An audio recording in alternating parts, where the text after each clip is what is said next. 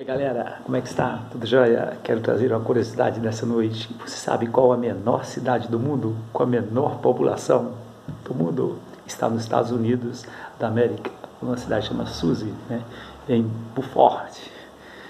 Olha, lá tem mais ou menos duzentas e poucas casas e apenas uma moradora. Essa moradora ela é prefeita, ela é juíza, tesoureira, ela é tudo, ela que cuida da cidade séculos passados, aquela cidade ela foi esvaziando por falta de sobrevivência, por falta de emprego, e restou apenas um casal. O casal veio a óbito e a mulher ficou sozinha lá. Funciona lá um bar lindo para os turistas que passam por ali. Ela vende biscoitinhos e, segundo ela, né, a cerveja mais gelada daquela cidade é a dela.